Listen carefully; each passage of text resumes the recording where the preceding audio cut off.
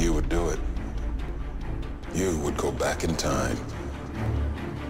If you had nothing to lose, nothing to live for, you would embrace it.